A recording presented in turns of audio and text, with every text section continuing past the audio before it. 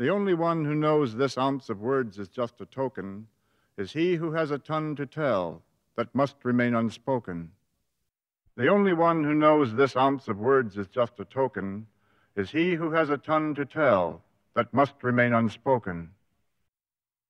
The only one who knows this ounce of words is just a token is he who has a ton to tell that must remain unspoken. The only one who knows this ounce of words is just a token is he who has a ton to tell that must remain unspoken.